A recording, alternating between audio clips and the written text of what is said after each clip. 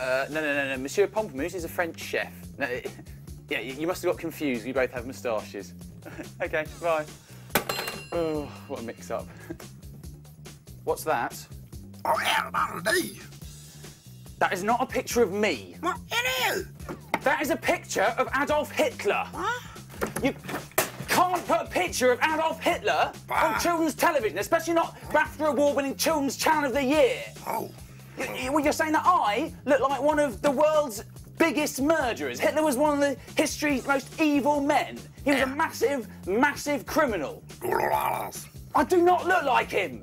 You, you've gone too far this time. Right, let me assure you, people of Britain, that my moustache is going to be big, bold, and beautiful. Now hush while I admire it.